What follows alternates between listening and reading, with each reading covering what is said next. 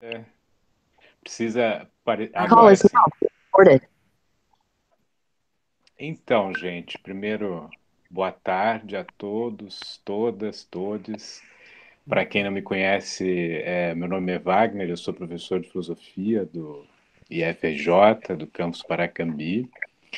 E desde que nós é, começamos, desde que, enfim, é, a gente está enfrentando essa situação de pandemia, distanciamento é, social, Joyce e eu, professora Joyce de Biologia e eu, e mais alguns colegas, o professor Israel, o professor Saião, outras pessoas que se juntaram a nós nesse meio do caminho, começamos a desenvolver uma atividade semanal chamada Quarta Conversa, a princípio para acolher é, os alunos e colegas né, nesse período tão difícil de distanciamento, tão complicado para nós, né, que estávamos tão acostumados a conviver na escola. E nessas conversas nós viemos tratando de vários temas né, que interessam a escola, é, específico a nossa escola, mas também a temas de conjuntura, é, envolvendo também questões relativas à pandemia.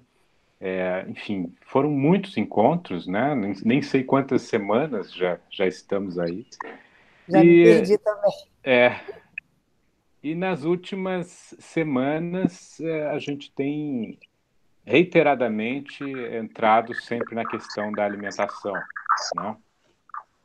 E da importância desse tema nesse momento, não só nesse momento de pandemia, mas uh, também uh, de uma maneira geral, né? É, então a gente acho que já faz uns dois encontros que vem trabalhando isso. Em algum momento também entrou a questão da, do veganismo, da, da, da produção de alimentos, de, enfim, do consumo de carne. Mas é, agora a gente gostaria de ter uma conversa mais voltada para integração desse assunto com a comunidade regional, né? E aí Joyce, é, ó, tem bastante gente entrando, é, tomou a iniciativa de convidar a Márcia para falar um pouco para nós sobre é, como esse assunto é tocado na comunidade, falar um pouco sobre economia solidária, da relação que existe a respeito da produção de alimentos é, em Paracambi e coisas sobre as quais nós nem sabemos, né? Então, assim, de um modo geral, só para situar onde é que a gente anda, né? é, isso, essa conversa veio acontece agora, mas enfim, já vem algum tempo que a gente vem tocando nesse assunto. Né? Então, acho que basicamente para introduzir isso, eu passo para Joyce para dar continuidade, apresentar a nossa convidada. E aí a gente segue aqui. Eu não sei como nós fazemos, primeiro faz, faz a apresentação, a Márcia fala, depois cada um se inscreve para fazer alguma consideração, se a gente coloca no chat, enfim, fica sempre aberto aí. Quem quiser depois tomar o microfone Isso. terá a oportunidade de fazê-lo. Isso, a metodologia que a gente costuma fazer é essa, né, assim, de, mas de, de manter aberta a inscrição constante, se for alguma coisa que caiba uma intervenção de imediato, a regra não é rígida, mas para um motivo de, de organização, se quiser fazer a pergunta por escrito, ou se inscrever para fazer oralmente, a gente está sempre, sempre livre, até porque foi assim que surgiu a ideia do Quarta Conversa, é, propositalmente às quartas, por uma organização, e acabou que o nome é, nasce desse, desse processo do acolhimento às quartas, não, né? quando a gente sentiu necessidade de estar perto, né? estarmos perto uns dos outros. Já falamos de tudo, já fizemos yoga aqui online, já falamos de fake news, já falamos é, de, de temas diversos e sempre bate à nossa porta a questão da alimentação, seja do ponto de vista biológico, que é o que me, me toca, né, professora de biologia, do ponto de vista social, do ponto de vista afetivo, do ponto de vista político, de decisões políticas, do ponto de vista é, socioambiental, no sentido do que hoje é, é, toca o, o, tema que Márcia é, trará, né, do ponto de vista da ancestralidade, né, que é o que que a Márcia também traz é, na sua experiência. Temos aqui a, a, um vínculo ligado à alimentação que muito tem a ver com afeto, né, do comer. Uma sociedade tão, tão afetada pelas ideias capitalistas, né, da, da indústria alimentícia, do ultraprocessado. De repente, a gente se vê numa situação é, temporalmente, ambientalmente, impulsionada por uma necessidade de mudança, no mínimo, para começo de conversa, na forma de pensar. Então, a gente teve essa ideia. Antes de, de, de passar efetivamente a palavra para a Márcia, é, eu queria, depois ela também, que conhece outras pessoas que, que vamos passar a conhecer hoje, eu quero ressaltar primeiramente a presença do diretor, né, Aldemar, diretor-geral, que, que sempre nos deu apoio, não só para o quarta conversa, mas todas as ideias malucas que a gente tem para interferir no processo de formação dos alunos de forma diferenciada e afetiva. Ele tem, tem sido um apoiador nosso, então gostaria de agradecer a participação, com certeza oportunamente terá como falar. Eu queria chamar a atenção é, para quem estava aí no início, eu já falei, mas vou repetir que agora estamos gravando, eu faço questão de registrar.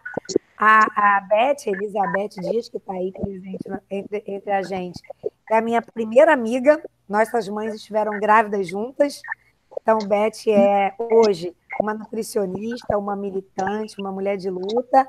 É ela aí, linda como sempre, desde as nossas barrigas, linda como sempre. E aí eu, eu a convidei é, como uma participação importante da área né, da, da, da, nutrição, mas também da área dos afetos da militância. Eu acho que é disso que a gente precisa ressaltar também a participação da Patrícia, nutricionista, também minha amiga, também uma, uma mulher de fibra e uma mulher negra de fibra dentro da área da militância também por uma alimentação saudável, que todas nós todos nós e todas nós concordamos, vai além de escolher o que comer do ponto de vista prática do dia a dia, né? Comer é um ato político. Então, a gente, sem, sem militância nesse sentido, a gente come ine, ine, é, ineficientemente, se não pensar no afeto e na, na, política do ato de comer. Então, queria ressaltar essas duas amigas queridas, Andréa Patrícia e Elizabeth Pati e Beth, é, como uma participação de coração aqui. Então, passo agora a palavra para a Márcia, e aí ela apresenta as demais pessoas, se apresenta e a gente dá continuidade ao objetivo de hoje, tá bom? Depois, quem quiser ir falando, o chat está aí aberto para isso. Boa tarde, Márcia querida. Márcia Puri. ok. Então, boa tarde a todas e todos.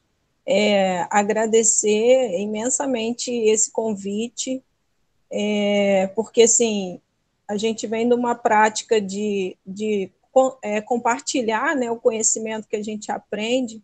Então, já, já há muito tempo que, que eu venho trabalhando com, trabalhei com educação ambiental, fundei uma ONG, é, militância no município, primeiro a militância ambiental, aí depois a militância, migrei para a economia solidária, porque eu acho que a economia solidária, ela, ela condensa, assim, várias frentes de luta, né, cultura, é, educação, é, produção, é, produção e comércio justo, enfim. E então, é, nesse cenário de pandemia, a gente ficou meio isolado, né? Que aconteceu com todo mundo, que a gente tinha aquele costume de estar com as pessoas, de estar falando, de estar é, articulando e, e, e, organizando eventos, etc. E de repente a gente se viu é, isolado, né? E essas ferramentas digitais elas são muito importantes é, para nos ajudar a retomar essas frentes, né, essas frentes de luta, essas frentes, essas militâncias. É, e a gente está é, se reinventando. Né? Então, a gente precisa estar tá antenado para as novas formas de interagir. Então, se não dá para interagir fisicamente, presencialmente, a gente vai para outros caminhos e, e continua semeando, né? Que eu acho que a palavra é isso aí. Para comer, a gente tem que semear, a gente tem que plantar. Então, também tem que semear ideias, né? Para que elas floresçam aí, na, principalmente na cabeça dos jovens. Eu acho que é muito importante, por isso que esse projeto de vocês assim super importante, né, nesse sentido de, de ter o jovem é, com senso crítico, que eu acho que hoje isso é, é, muito importante, né, ter um jovem que tenha um senso crítico, que possa questionar, que saiba questionar, que, que, que tenha uma linha de raciocínio para questionar, né, porque se a gente não questiona, a gente simplesmente vai seguindo com, com a maré, e infelizmente é o que aconteceu né, nesse cenário político do nosso país. O pessoal embarcou aí numa onda e foi e viemos parar nesse, nessa situação que estamos. É, agradecer também ao professor Aldemar, de vez em quando a gente se esbarrava ali no, no IF, né? Ele é super bacana, sempre foi super educado comigo, super gentil. Então, também agradecer essa oportunidade e a todos que estão presentes aí, que vão participar e que a gente possa contribuir né, com, com as experiências que desenvolvemos aqui em Paracambi, que eu acho que foram coisas inovadoras, né, coisas que. Paracambi é uma cidade provinciana, então é, a gente desenvolveu algumas coisas que as pessoas não, tavam, não estavam acostumadas, mas, na verdade, é, são, são práticas antigas, né? porque a economia solidária, na verdade, ela é um resgate de, de práticas que, ao longo do tempo, com o avanço do, do, da, da, do capitalismo, elas foram se perdendo. Então, tem muito essa relação com a terra, com a cultura, é, com as formas de produção. Então, hoje em dia, as pessoas falam assim: ah, mas isso é economia solidária, mas a minha avó já fazia isso. Então, é exatamente nesse sentido, é o resgate. Então, espero que vocês aproveitem e pode me perguntar qualquer coisa. Eu falo, quando eu começar a falar, eu falo demais. Então pode me interromper, pode perguntar, pode, pode aproveitar. Me tipo suguem. Eu, tipo eu. ok. Manda ver. Então, é, vou, vou começar um pouquinho assim, me apresentando, né?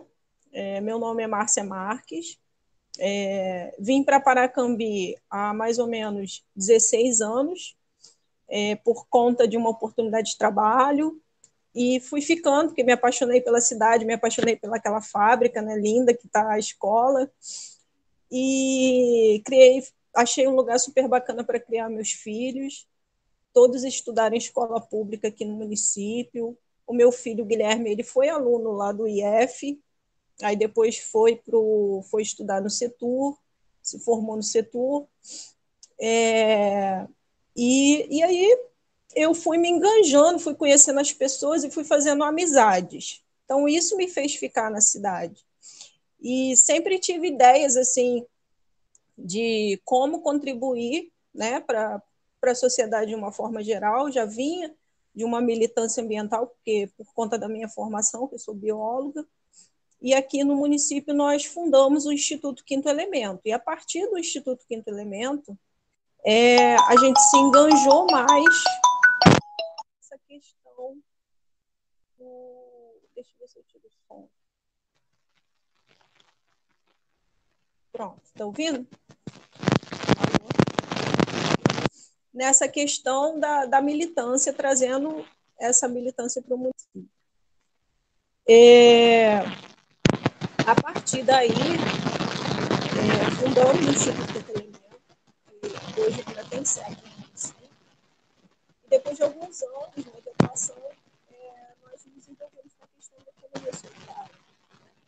Eu trabalhei também na prefeitura, para também na Secretaria de, de Trabalho e Renda, aonde tive a oportunidade de desenvolver o projeto de economia solidária do município.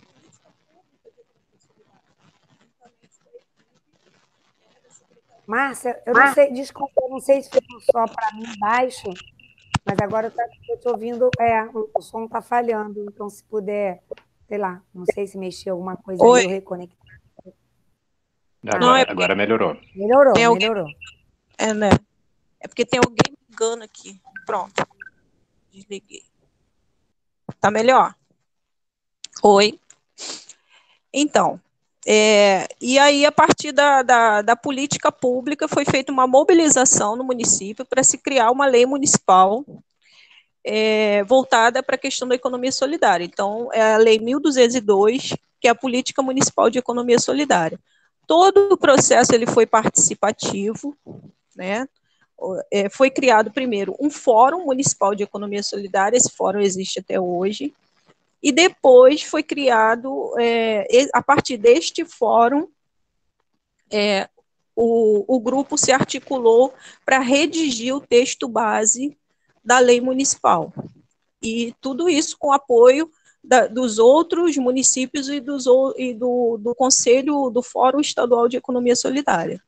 Então, teve uma grande articulação, uma grande mobilização em torno disso, porque se as pessoas. A, a gente pensava o seguinte: se existe uma política pública federal de economia solidária, nós temos que trazer essa política para a esfera municipal. Então, é, eu, o fórum reunido se articulou até a criação da lei, que é um ato do Poder Executivo e da Câmara Municipal. Então, essa lei hoje ela está vigente e essa lei, é, por que, que eu estou falando da lei? Porque essa lei ela garante a comercialização dos produtos né, produzidos pela economia solidária do município. Então, é, foi super importante esse passo, porque é, a lei garante, inclusive, é, a livre comercialização dos espaços públicos sem é, a cobrança de, de, de taxas né? Porque geralmente o espaço público é cobrado quando você tem uma comercialização de algum tipo, ambulante, etc. Tem todo um trâmite. Então, para a política municipal de economia solidária, é, todo, todo participante dessa política ele é isento da, das, das taxas dos tributos. Então, isso já é uma, uma coisa, assim, é um estímulo né, para que essas pessoas tenham oportunidade de estar comercializando.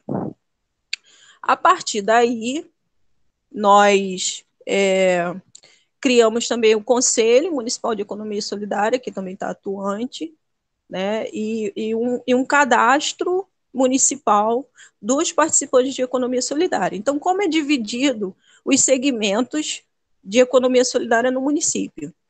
São artesãos, é, agricultores familiares e o pessoal da, da gastronomia. Então, nós temos esses três segmentos atuantes é, no, no, junto à Política Municipal de Economia Solidária do município, todos cadastrados com fichas de cadastro, tudo direitinho, e com o cadastro federal, que é o CADSOL, é o cadastro é, é, geral, o cadastro do governo federal, que o Estado também ajuda a estar tá fazendo esse cadastramento. Então, é, esse é o cenário né, do, do dos empreendimentos de economia solidária e da política municipal. A partir daí, é, nós fizemos a experiência, porque assim, qual era o objetivo das pessoas estarem participando? Elas pudessem comercializar, né? Que elas pudessem é, estar junto, é, expor o seu produto sem os atravessadores, que isso é, é um, é um da, dos princípios né, da economia solidária é o comércio justo, é o preço justo. Então, é, o pessoal se reuniu mais uma vez, tudo, tudo que aconteceu foi feito em comum acordo com os participantes. O pessoal se reuniu e decidiu criar a Feira Municipal de Economia Solidária, que é aquela que acontece na Praça Cara Nova, todas as quartas e sábados, né, de, de sete da, da manhã até as quatro da tarde. Então, foi estabelecido esses dois dias e esses horários para que essas pessoas pudessem comercializar. Ali perto da casa do artesão, não sei se vocês, quem é de Paracambi, deve aquela praça da estação, né? E então é, isso deu deu assim oportunidade para que para que o pessoal pudesse pudesse comercializar e, e principalmente a, a, o, a agricultura familiar poder ter um local, porque eles não tinham, Paracambi não tem uma feira, né? Você vê que é, a maioria dos municípios, principalmente os grandes municípios, tem feiras, né? Feiras livres, mas a, aqui em Paracambi a feira acabou e, e não, não retornou. Então, isso deu oportunidade para os produtores estarem ali nesses dias, né, é, comercializando seus produtos diretamente para o consumidor.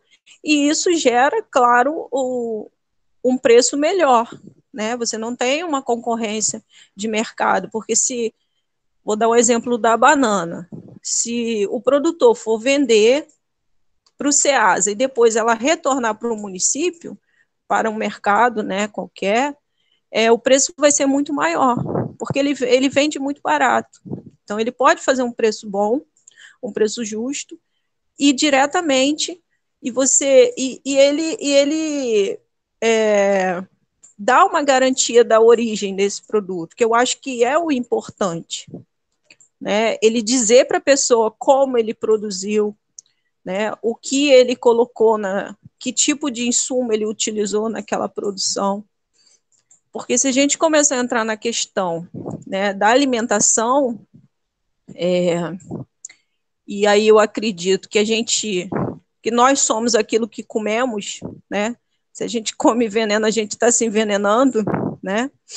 Então, é, a, é, o consumidor ter, ter como escolher entre um produto que ele sabe a procedência e um outro do mercado, né, comum, que ele não sabe a procedência, que ele não sabe o que foi utilizado, então é, é, dá ao consumidor esse direito, essa oportunidade de estar escolhendo. Então tudo isso envolve esse projeto da economia solidária. É, é, a, a pergunta sumiu. Foi muito rápido. Vou, vou, fazer aqui, pode ser? Pode, pode. Só para aproveitar o gancho, você está falando desse grupo, dessa oficialização de um grupo de economia solidária municipal vinculada a uma política de Estado, né? Do Estado uhum. do Rio de Janeiro e de Estado enquanto né, uhum. Brasil. A minha pergunta foi se esse grupo também é, é, da maneira como é instituído, também tem uma, alguma, algum favorecimento de fornecimento de alimentos, de produtos, né?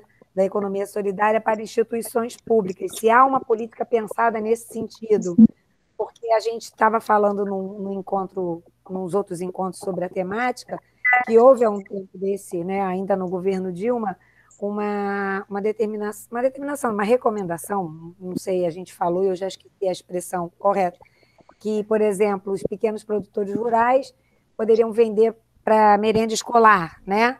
Isso era uma política de governo para favorecer esse, esse trânsito mais solidário e até mais ambientalmente correto, ao invés de vir um negócio lá de longe, então o pequeno produtor forneceria para merenda para a escola perto. Nesse sentido, o, o, o teu grupo, o grupo da economia solidária, também tem alguma aproximação legal para isso? Então, é, no caso do, do, da agricultura familiar, eles estão amparados exatamente pelas legislações voltadas para a agricultura. Então, eles podem estar fornecendo para a merenda escolar, né, no sentido, eles estando, estando é, enquadrados dentro da, do, do, do que exige a, a legislação da agricultura. Então, eles podem. Então, assim, a economia solidária, na verdade, ela vem para fortalecer tudo isso. Né? Ela vem para fortalecer e ela, ela enganja os outros segmentos também. Mas ela vem muito para fortalecer, entendeu?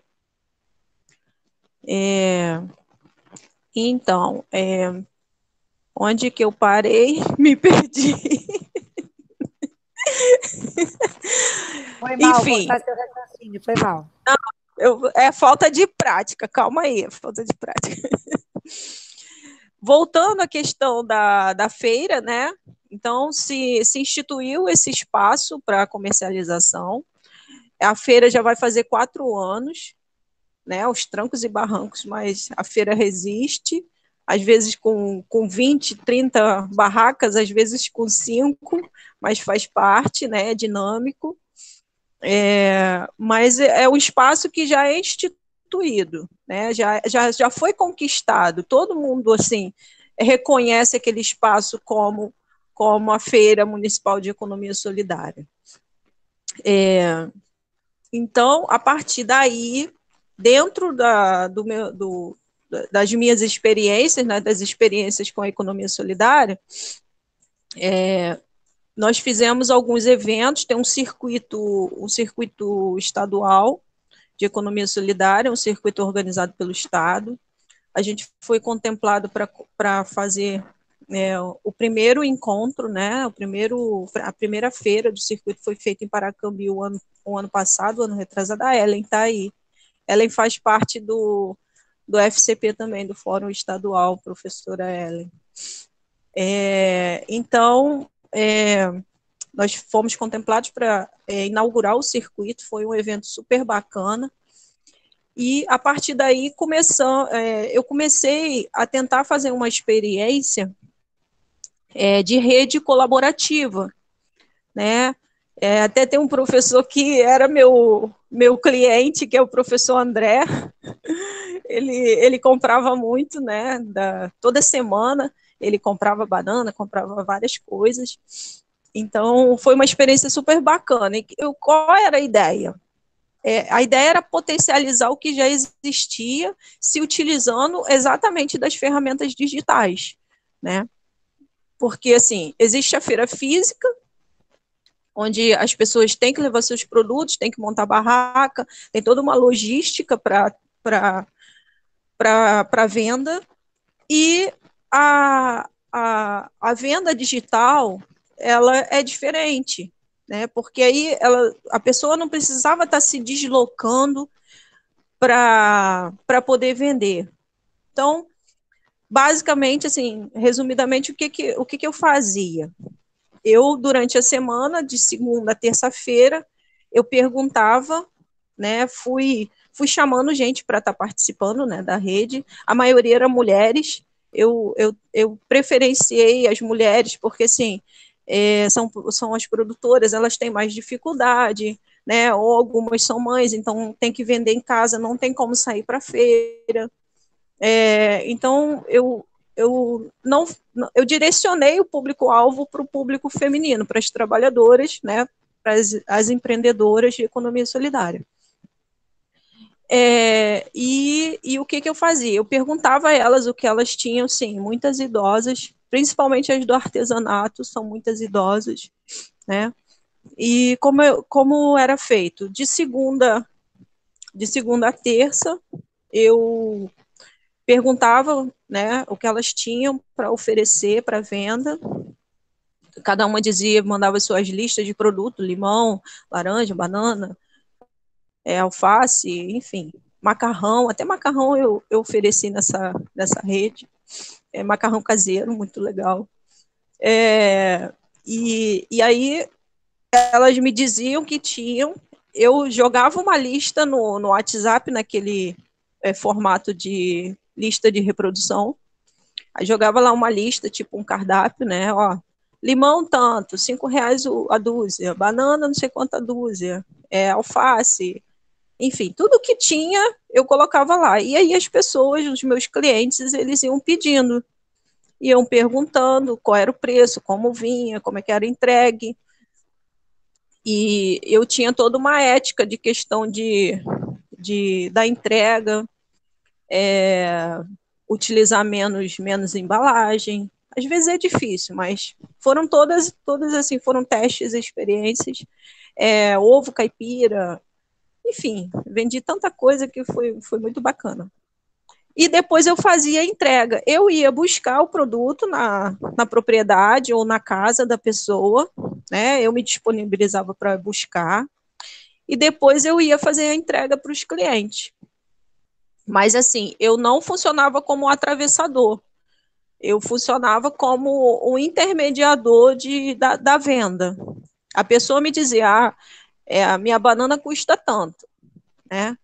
E eu colocava o preço, o preço dela, eu repassava para o consumidor final, entendeu? Aí, aí as pessoas, ah, mas o que, que você ganhou com isso? Ah, eu ganhei experiência, eu ganhei amigos, eu fiz amizades, porque assim, os valores, eu acho que eles precisam ser é, menos monetários, né? É, claro que todo mundo quer ganhar dinheiro, todo mundo quer trabalhar, mas assim, era, era uma experiência que a gente estava fazendo. E foi muito bacana. E assim, e eu ganhava satisfação em estar ajudando aquelas pessoas a estar a estar ampliando as suas vendas, né? É, além dos dias da feira, porque a gente fazia isso, é, eu fazia entrega, acho que na quarta-feira. Acho que era na quarta-feira que eu fazia entrega. Enfim, e foi uma experiência muito legal, foi uma experiência muito gratificante. Eu queria ter continuado, mas assim, eu, eu gostaria muito de, de, de compartilhar essa experiência e de repente essa rede fosse mais organizada, porque também era eu sozinha, né? Mas foi muito legal, foi muito bacana. E eu queria é, por isso que eu quis compartilhar isso com vocês. E até hoje essas pessoas me perguntam, na Márcia, você não vai voltar a vender? É, recebi muitas propagandas daqui da Márcia.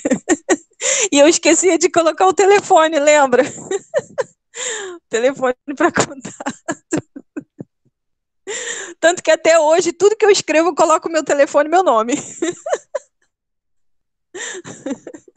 Foi ótimo. Ai. Enfim, e é isso. E agora, em tempos de pandemia, eu acho que a economia solidária ela segurou muito, é, ajudou muito as pessoas. Né? Eu acho que, como o mercado formal, de uma certa forma, paralisou, a economia solidária ela continuou. Né? Pessoal, eu tenho relatos assim de de produtores que falam mesmo: ah, não, eu não parei de vender, eu continuei vendendo, vendi para as escolas. Tem gente que tem está junto com cooperativa, então vendeu para cooperativa, continuou produzindo. E eu, eu acho que o caminho é esse. O caminho é da produção local, a gente está é, tá mais perto do, do, das áreas de consumo, né? e, e poder ajudar aquele produtor local. Acho que isso é super importante. Então, Paracambi tem uma cooperativa também de produtores que atua lá no Terra de Educar, na, na escola é onde ali na entrada do, do Terra de Educar no galpão eles eles é, recebem a, as mercadorias dos produtores locais. Eles têm lá uma, eu não sei como é que chama, como é o nome, eu acho que é estufa de amadurecer a banana, né? Eles têm uma uma estrutura para atender, eles têm caminhão, é, de repente se o, o, produtor não puder é, levar até lá, eles vão buscar, é, enfim, Muitos vendem para o município também, para a merenda escolar, aqueles que estão regularizados, então eles já têm essa prática de estar tá, tá vendendo para a merenda escolar da rede municipal. Eu não sei qual é o trâmite, né? Estou meio por fora esse trâmite, mas eles, eles, eu sei que eles vendem para eles, eles distribuem para a escolar. É, e e, e agora, né, nesse momento agora, o que, que eu, Márcia, estou fazendo? Eu, eu, tenho, eu adoro culinária, adoro cozinha, né, adoro experiências. então, eu estou cozinhando e estou tentando comprar também da, da, da, produção local. Então, o que eu posso comprar da produção local, é, eu, eu, eu compro, porque eu acho que isso é um diferencial os bolos também são dessa iniciativa. Os meus bolos, é, os, os meus bolos eles vieram, eles vieram da, da necessidade de se manter ativa, né, nessa questão da, da pandemia. E foi quando eu mais vendi bolo na minha vida. vendi muito bolo na pandemia. O povo comeu muito. Tava todo mundo em casa, vou fazer o quê? Vamos comer um bolo hoje, vamos comer uma lasanha, vamos comer uma panqueca. Estou eu lá. Mas foi também bem, bem bacana. vontade. Então, é, Márcia, eu acho que é isso. Ah. A, a Ellen escreveu aí um pouquinho antes da Gino, a Ellen sobre o bolo. A Ellen pediu para hum. falar sobre as políticas públicas de compra sobre políticas de compras públicas da Ecosol. Vamos deixar ela falar um pouquinho, que aí a gente ah, tá. encaixa aí. Isso, ela é ótima para essa. A hora que vocês quiserem. Oi, gente. Oi, gente. Oi, Ellen. Tudo bom? Boa Oi, tarde. Ellen, obrigada, seja bem-vinda. Imagina. Não, é, já que você tocou nesse assunto, né? Então, a gente, é, como Fórum de Economia Solidária no Estado, né? A gente tem, sim, um instrumento, inclusive, houve toda uma mobilização da Frente Parlamentar da Economia Solidária no Estado, na, dentro da LEGE, para que houvesse uma lei específica de compras públicas para a economia né, da economia solidária, né, que os produtores pudessem estar fazendo essa oferta. Né? A gente sabe que tem a lei federal, né, inclusive tem uma cooperativa, é, se não me engano, a Unacop, né, que tenta desenvolver esse trabalho, tentou desenvolver esse trabalho, inclusive, para as escolas públicas no município do Rio de Janeiro, tá, de produtores é, é, de agroecologia, né, buscando até produtos no estado como um todo.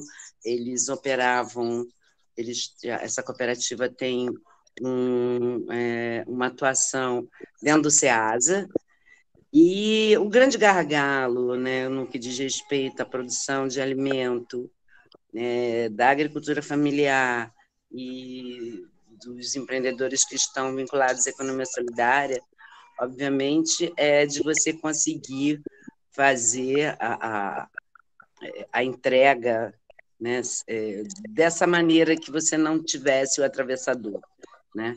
Quer dizer, a distribuição, a logística da distribuição continua sendo um grande gargalo. Né? E acho que isso é no Brasil como um todo, a gente não é um privilégio do Rio de Janeiro isso. O que é, a gente, como política pública, a gente defende efetivamente que haja uma lei, que a gente né, tivesse é, é, condições de é, os empreendedores e empreendedoras da economia solidária entregarem seus produtos né, para as compras públicas. Mas a gente ainda não está é, efetivamente fazendo isso. Então, a gente precisa, sim, de estratégias né, de união dos produtores, né, para que a gente possa, sim, criar aí um rol, certamente, de produtos e, e, e que possa é, verificar qual seria a melhor logística né, para a gente poder atender e, obviamente, que as escolas públicas é, são é, clientes importantíssimos não só pela questão da segurança alimentar, mas dessa oportunidade né, de você ter o escoamento da produção para quem está precisando. Então, a, a, política existe, tá? a gente tem né, a, os enfrentamentos de poder executar isso, né?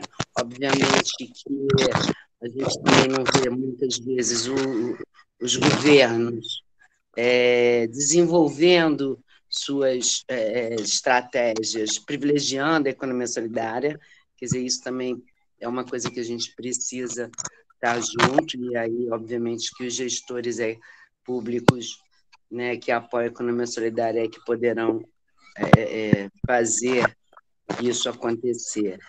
Né? Então, do ponto de vista da, digamos assim, da melhor maneira que a gente poderia estar pensando essas entregas é, obviamente, que quando a gente analisa as questões mais complexas, que a gente chama dos circuitos curtos, né? onde você teria produtor e consumidor diretamente sendo beneficiado, né? então você fazer justamente a compra do produtor local, né? privilegiando a economia local é, essa política é a política que a gente entende ser a mais eficaz, a mais efetiva, né? Mas para isso a gente precisa sim ter capacidades né, de fazer as articulações entre os produtores né, e os consumidores para que se inicie, inclusive, o que a gente chama né, de redes colaborativas de consumo, né? que você tem produção e consumo numa rede onde isso possa é, é, acontecer, é, trazendo os benefícios né, para ambos os lados.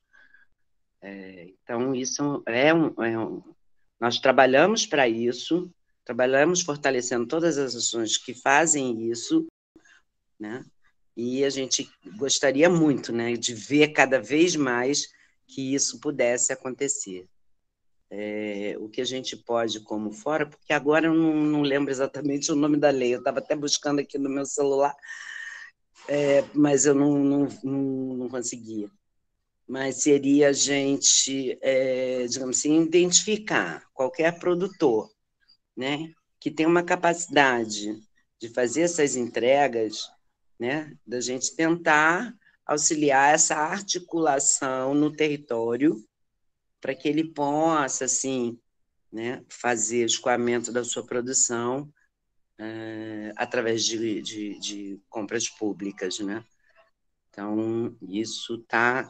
A, a, política de fomento à economia solidária traz isso no seu bojo. Isso já está no bojo da política e que é a lei né, que foi estabelecida em 2019.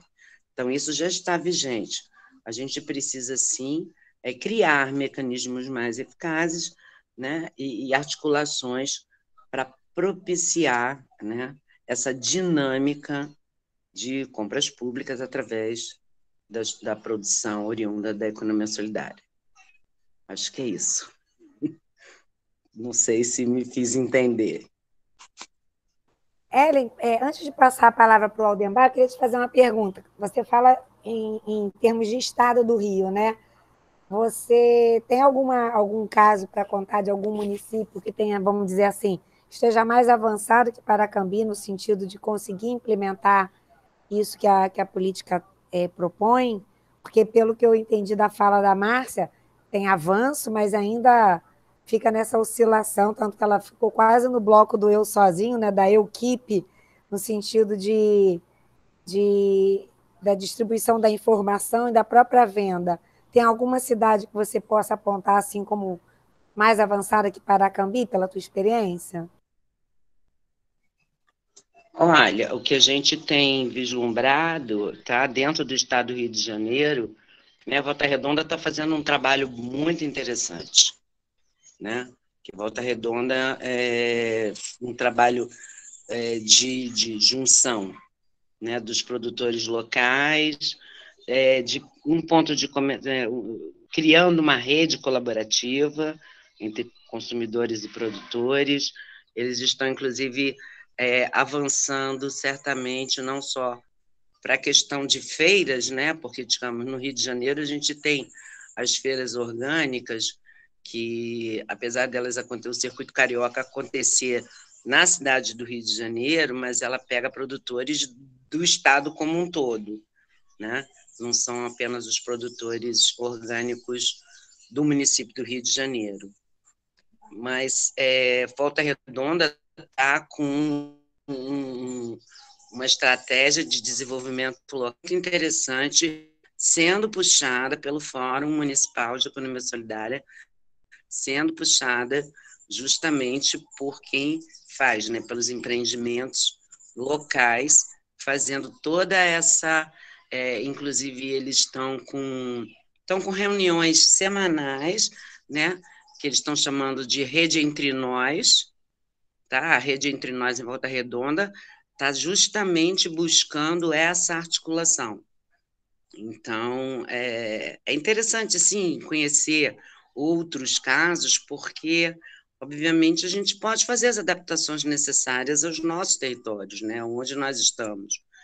Né? Então, eu acho que é, é muito interessante conhecer o que, que Volta Redonda está fazendo, e aí a gente pode botar em contato tanto com a Bárbara quanto com o professor Abegão da UF de Volta Redonda, que é, pela incubadora de economia solidária da UF de Volta Redonda toca esse trabalho já há bastante tempo do desenvolvimento da economia solidária no município, né? quer dizer, não só no município. E aí eles têm essa rede entre nós, porque eles não estão, eles conseguiram alinhar também, tipo Pinheiral, porque você tem não só a UF em Volta Redonda, mas você tem o Instituto Federal em Pinheiral, né? que também trabalha articulada tá? no, no, que diz respeito ao desenvolvimento de, de, da economia solidária e dos conhecimentos da economia solidária naquele território. Então, você tem essa articulação e eles estão nesse desenvolvimento. É até interessante, porque por mais que já tivesse eles um planejamento nesse sentido, né, a ocorrência da, da formalização da rede entre nós aconteceu devido à pandemia. Né? Muitas vezes a gente está ouvindo experiências de que a pandemia nos jogou para uma situação que né, foi necessário ter a, a, criatividade e a iniciativa de outros caminhos, né? e aproximações também de, de outras formas. E isso realmente está sendo muito interessante de você ver alguns diálogos, é, não só no estado do Rio, mas em outros lugares, falando disso, né? falando né, é, é, de como a pandemia nos colocou né, para andar para outros caminhos e caminhos que estão trazendo resultados positivos. Ah, legal, obrigada. É, ao contrário do que possa parecer, o professor não é totalmente contra a cola, né? A gente cola ideias boas, ideias que já estão funcionando, que já estão caminhando. Então, para nós, é bom saber isso, né? A Volta Redonda, Não. Pinheiral. Eu, eu fui, também, né, eu fui professora. Estamos. Né? Eu fui professora é. durante 34 anos, né? E eu sempre falei, então. e a gente tinha uma máxima, que é o seguinte: né? a questão não é você colar, é você saber, né? aplicar o que você vai colar. Isso Porque aí. se não só colar, você não desenvolveu absolutamente nada. Então, Exatamente. o mais interessante é usar a estratégia que os japoneses usaram, né? Depois da guerra, o que aconteceu no Japão, os produtos japoneses eram considerados produtos muito ruins, né, em termos de qualidade de produtos os Estados Unidos, depois de ter jogado as bombas em cima do Japão, numa maneira de querer melhorar a situação deles, né? entregou uma opção de patentes para o Japão. E o que, que o Japão fez? Né? Ele aperfeiçoou todas essas patentes. Então, ele não colou a patente e reproduziu único exclusivamente do que estava na patente. Né? Ele aperfeiçoou isso e depois você teve um boom né? na década, final da década de 60, 70, de produtos, né, principalmente eletroeletrônicos vindos do Japão de altíssima qualidade, mas porque eles não copiaram, né? Eles simplesmente inovaram. Eles Muito bem inovaram lembrado. em cima disso. É, isso é um caso clássico que a gente fala, que a gente deve sempre é procurar adequar a nossa situação e preferencialmente né, aprimorar aquela experiência, já que você tem a condição de olhar aquilo e analisar aquilo, a gente aprimorar isso. Tá? É isso. Muito bom, obrigada. É, Aldemar, quer falar agora, meu bem? Ah, vou falar um pouquinho sim, se vocês permitirem. Né? Claro, com certeza. Poxa, uma eu agradeço. Olha, olha, sinceramente, eu estou muito feliz com, esse, com, essa, com essa reunião, tá? Minha pequenininha tá falando aqui, ó, papai. Normal, normal. Normal, normal. Faz parte. Vai lá, pode seguir. É, poxa, o que que acontece? Quando, quando surgiu esse convite, essa que a Joyce falou, foi uma coisa muito rápida, né? Primeira pessoa com que eu pensei em colaborar com, com esse debate, com essa história toda, foi o diretor de Pinheiral, o Marcos Fábio, né? E a Ellen falou também do, do, trabalho que ele realiza lá. Ele tem um dia do produtor lá, e já tem um trabalho bastante bastante forte nesse sentido, né? com bastante resultado, até porque o campo de Pinheirão é um campus agrícola. Né? E eu vou contar uma experiência rápida sobre, sobre isso tudo ali. Eu tive visitando eles, né? que a gente, nossa ideia era é, é, fabricar os nossos produtos aqui para a merenda escolar, iogurte, queijo, pão, eles fazem isso tudo lá. E eu vi ele descascando uma jaca lá, entendeu, Hélio? Não sei se você conhece esse produto, deve conhecer. Eles estavam pegando, não o gomo da, da, da jaca, né? Estavam pegando a parte onde, onde entra aquele gomo, né?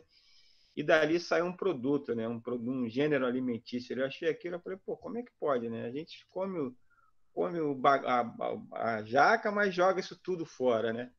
Então a gente vai justamente nessa questão da, da, da, da, que a gente chama de agregar valor ao nosso produto também, né? É o que, eu, o que eu conheço bem, o que eu conheço bem em Pinheiral é o trabalho da Júlia Barros. Júlia ela, Da isso. professora Júlia do Instituto Federal Sim, de Pinheiral, é sim, que ela sim. trabalhou um grupo de mulheres justamente dentro dessa, é, desse aspecto né, da economia solidária, e o trabalho da Júlia teve um desenvolvimento muito bom. Conheço muito o trabalho da Júlia, tiro o chapéu para ela, foi fantástico o que ela conseguiu fazer com as mulheres, o grupo de mulheres lá em Pinheiral. Inclusive foi ela que no- nos assistiu lá, ela que fez até um, um produto lá na hora, vamos dizer assim, né? Foi bom, Hélio, você também ter falado do, do Japão, né? Aquele sistema japonês, por que que eles cresceram. A gente, a gente fala da multidisciplinariedade no nosso campo, né? Ela acabou de falar do Kanban e do Just in Time, né, Hélio? É, que é coisa ligada à à mecânica, né? A coisa da, da, da industrialização. Muito legal isso tudo, tá?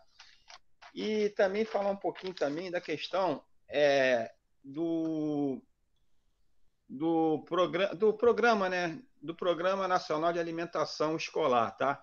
Eu vou colar aqui um trechozinho da lei da questão da obrigatoriedade que nós temos de 30% né, do, do, do é, mínimo 30% do valor repassado a Estado, município e Distrito Federal pelo Fundo Nacional de Desenvolvimento a, da Educação para o Programa Nacional de, de Alimentação Escolar, tá?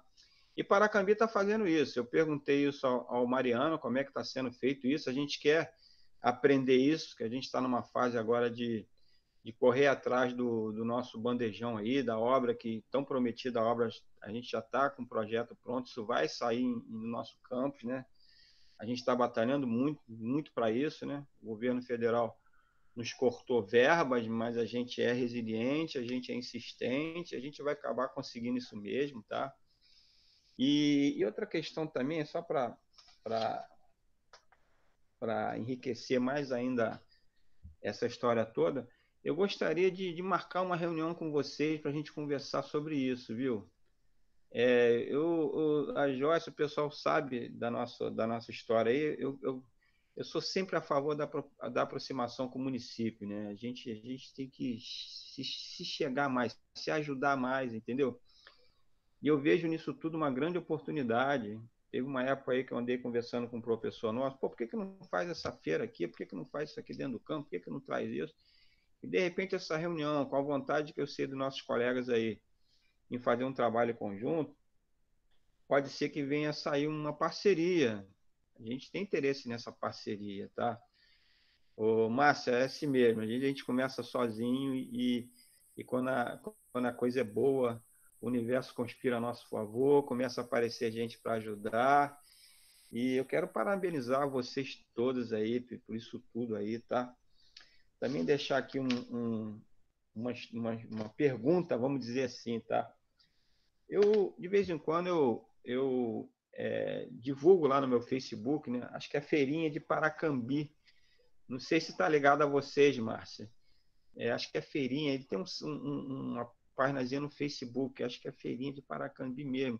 Eles vendem produtos muito baratos, sabe? Banana, laranja e, outro, e outros produtos. Eu não sei se está ligado a vocês é, essa, essa feirinha, se é uma, um, uma, uma iniciativa também conjunta de vocês, entendeu? De vez em quando eu, eu publico lá no meu Facebook, eu compartilho, né? Para que todos é, tenham oportunidade de conhecer o produto, entendeu? E, e para falar um pouquinho é isso de vocês e também dizer o seguinte: é, vamos ver se a gente fecha mais isso, essa, essa história dessa parceria, para a gente no nosso, é, no nosso Facebook, no nosso canal de divulgação, a gente começar a trabalhar em conjunto, né? eu acho que a nossa professora Joyce, ela, ela pode liderar esse, esse, essa equipe aí para a gente se aproximar. Eu sou muito a favor da questão do conteúdo local, tá? De, das coisas serem da mão de obra e etc. ser comprado no, no, no município, né? No, no, município, seja no estado, seja. Olha, tem um microfone aí. E, e o que, que acontece nessa história toda? A gente tira de experiência no período do Brasil aqui, que a indústria naval cresceu muito, tá? Nos últimos 10 anos para trás, cresceu muito por quê? É, a mão de obra antigamente era do exterior.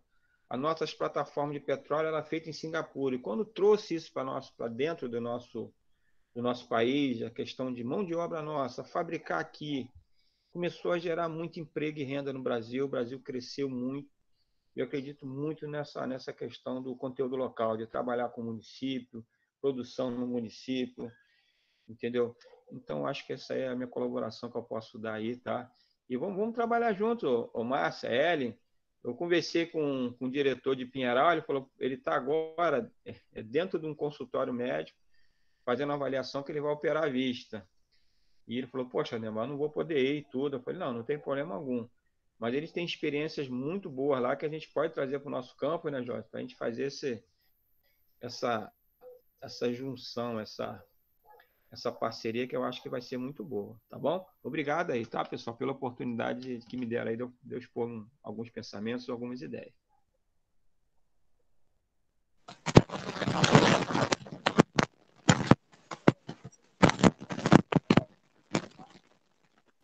Márcia, seu som ficou ruim de novo.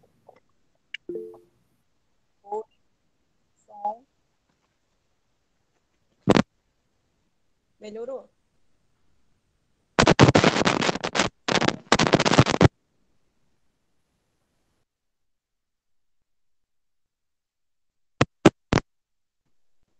De repente diz pluga, pluga de novo, não sei, não dá para te ouvir, não.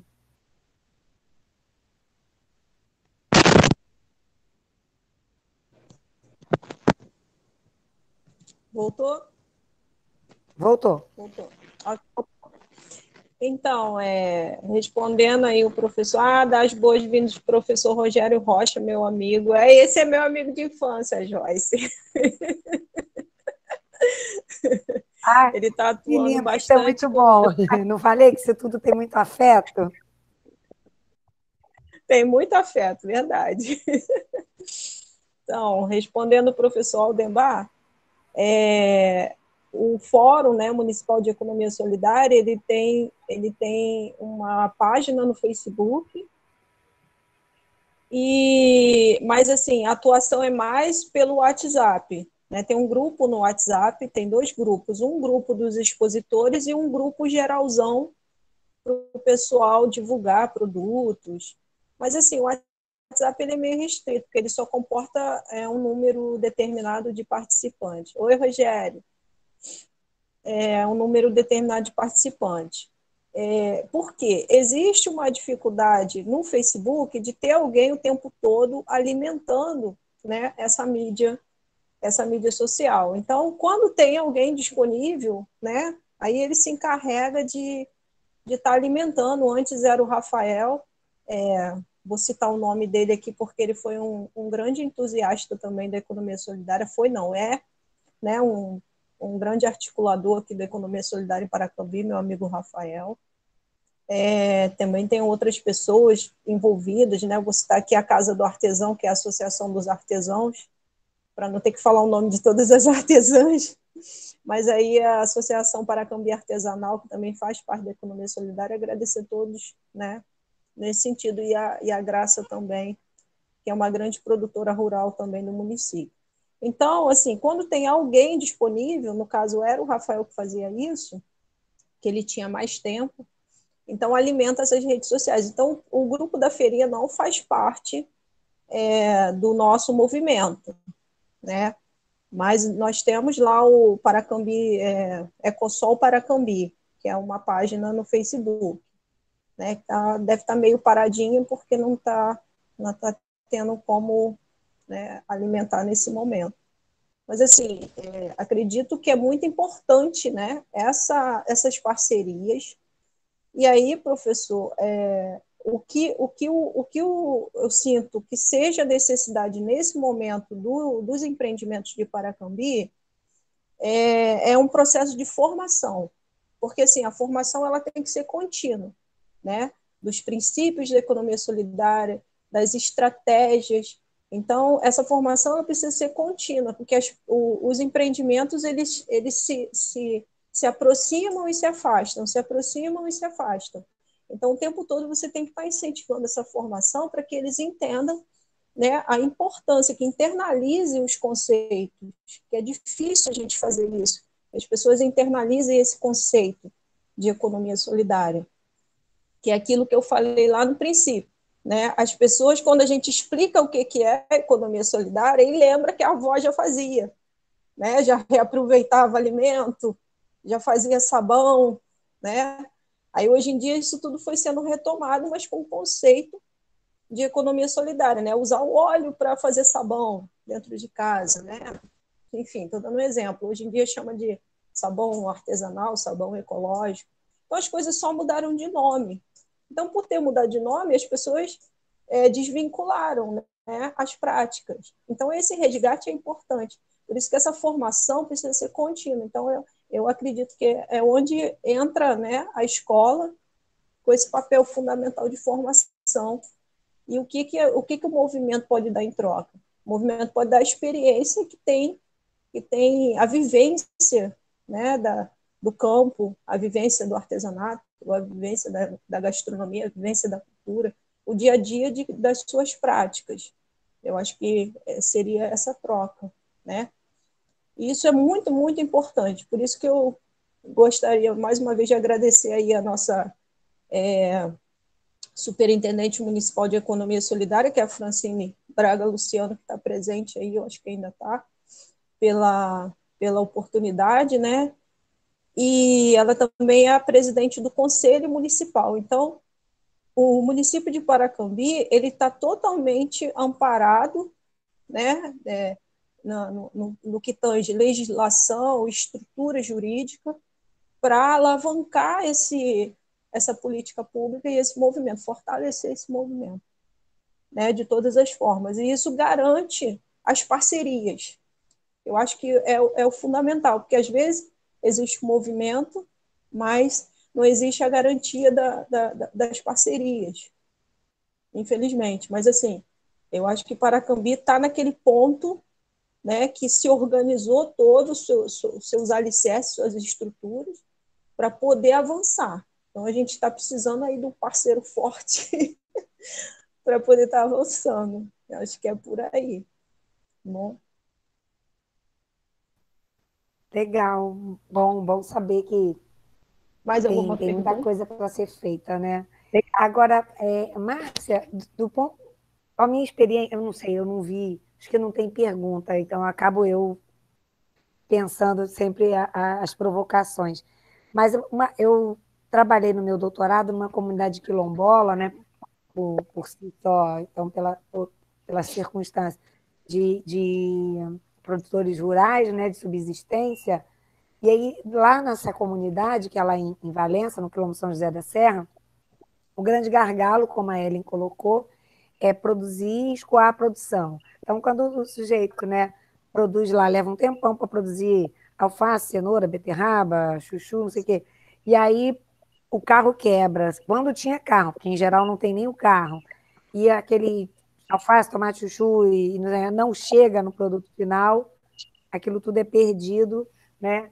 E aí a gente, durante o meu desenvolvimento do doutorado, a gente falava muito sobre a, a formação né, e o aprimoramento de técnicas de, de pequena, pequeno, não é manufatura não, é, esqueci a expressão agora, é, pegar o aipim, transformar beneficiamento. Num numa farinha. Beneficiamento.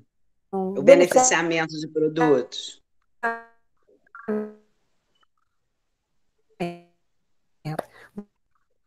Primeiros benefícios beneficiamento daquele melhor acondicionamento, porque às vezes o cara sabe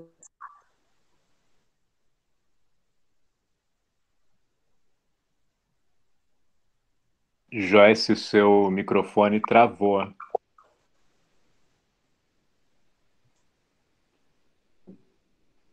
Será que foi. Talvez a conexão dela tenha travado.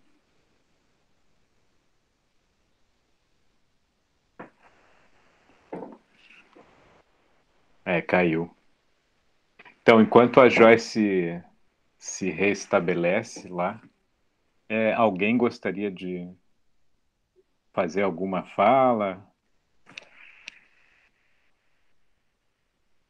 Alguma pergunta? Eu vou, eu vou colaborar um pouquinho aí, tá? Pra, ah, tudo bem, Aldemar. Eu vou colaborar. É isso aí mesmo, Sayão. É, concordo contigo, tá? Mas a gente tem que começar. Voltei, viu, voltei. Opa, opa. Volta, Joyce. volta, Joyce. Volta. Joyce, eu estava tomando seu tempo aqui, tá? valeu, valeu.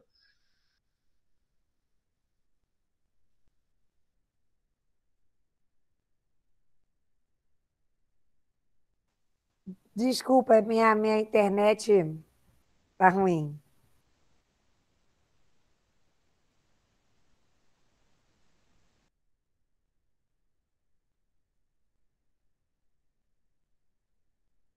Rogério, professor Rogério, boa tarde, tá? Prazer mais uma vez é, ter a sua presença aqui, conversar com você. A gente estava no início conversando, desde que surgiu essa história toda, a gente criar uma, uma extensão aqui no campus, né, voltada para isso.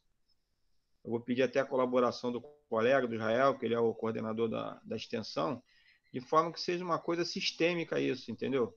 A gente começar a trabalhar num projeto tratando de economia solidária e em parceria com, com o munícipe, né, com, com as pessoas envolvidas na área. E a gente pode fazer isso sim, a gente está aí perto. Nada impede da gente pegar a experiência com São João de Meriti, eu convidei o, o, o diretor de Pinheiral para participar também dessa, dessa reunião, né? Que eles têm um trabalho bastante interessante lá. Né? Então, vou, vou, podemos fazer isso sim, viu, professor Rogério? Vamos, vamos começar a conversar. Depois que acabar essa reunião, naturalmente eu vou conversar com a nossa equipe, né? Para a gente colocar esse projeto maravilhoso em andamento, entendeu? O Instituto Federal ele tem uma preocupação muito grande com a questão social, tá? A gente não quer, é, a nossa teoria lá não é a, é a formação do cidadão como um todo, não pensando apenas na questão tecnicista e vai por aí afora. Então a gente vai fazer isso sim, tá? É, depois, Joyce, eu só cortei um pouquinho aqui a tua fala porque deu problema na tua, na tua, no teu computador. Não sei se você está me ouvindo. E eu falei aqui com ele, Joyce, do seguinte, de a posteriori, depois da gente conversar sobre criar um, um, uma extensão voltada para isso, com a questão de economia solidária, com, com mini cursos, entendeu? Com feiras também, no, no, próprio aquele espaço de frente do campus, entendeu? E eu acho que isso vai ser bastante interessante. Eu tenho certeza que o nosso corpo docente, o nosso corpo técnico vai, vai abraçar essa ideia e a gente vai caminhar junto nessa parceria aí, tá bom? Já essa palavra é sua agora. Muito, muito bom. Pena que eu caí, não ouvi inteiro, mas o que eu ouvi eu já gostei. Então, acredito que Márcia, Ellen, né, os demais participantes também, porque são caminhos novos, né, caminhos a serem trilhados. E a gente tem, antes de mais nada, um corpo de alunos, né, um corpo docente muito é, ávido por transformações, ainda mais agora. Acho que, de, acho que muita gente está ávido por transformações, né? E a, a meninada também. Mas muitas vezes a gente só não sabe por onde começar. Né? Nós, burro velho, né? eu me incluindo aí na, na, na velharia? estamos, aí com essa coisa de fazer algo diferente. Imagina a molecada que, que acha e tem certeza que tem que fazer e não sabe por onde. Eu acho que saber dessas coisas impulsiona, né? Eu, eu insisto aqui em, em falar da, da Aninha, nossa aluna, que está sempre aqui presente. Para mim, ela é um, um, marco muito interessante de, de aluna engajada, né? É, ela é calor, é aluna de primeiro período, teve 20 dias de aula e está aí com a gente toda quarta-feira. Eu pego ela quase sempre como exemplo, porque ela é um link muito interessante entre o que a gente conversa aqui no Quarta Conversa, na escola e, e né, nos grupos de WhatsApp, e a outra geração, que é a avó dela, a pessoa com quem ela vive. Então, eu, eu sempre acho, é, é, sempre encontro, né? Acho no sentido de é, vergonha boba. Eu sempre encontro esperança né, nesse processo de transformação a partir dessas, dessas provocações que a gente, que a gente faz, que atravessa gerações, né? Então, eu acho que essa ideia do Aldemar vai movimentar é, esse, essa conexão entre as gerações de Paracambi, entre quem sabe, porque a avó fazia, com alguém que vai aprender, como eu, né, quando a minha, minha conexão caiu, eu falava da importância de aprender pequenos beneficiamentos, né, beneficiamento primário desse produto que gera, que provoca uma vida um pouco maior daquele produto né, coletado tudo isso que, que, às vezes, na minha concepção de educadora cascuda, né, de muitos anos de sala de aula, às vezes a gente precisa estabelecer essas conexões de alguém que faz na prática, com alguém que precisa aprender para, até mesmo para, como disse a Ellie, para remodelar aquilo para uma nova vertente. Sabia que a avó fazia, mas como é que a avó fazia sem o WhatsApp? Como é que agora a gente pode usar o WhatsApp para fazer? Então, sabia indo de porta em porta, agora você pode mandar entregar, como disse a Higino, com um motoboy ou uma bicicleta. É, como é que conecta saberes e práticas, né?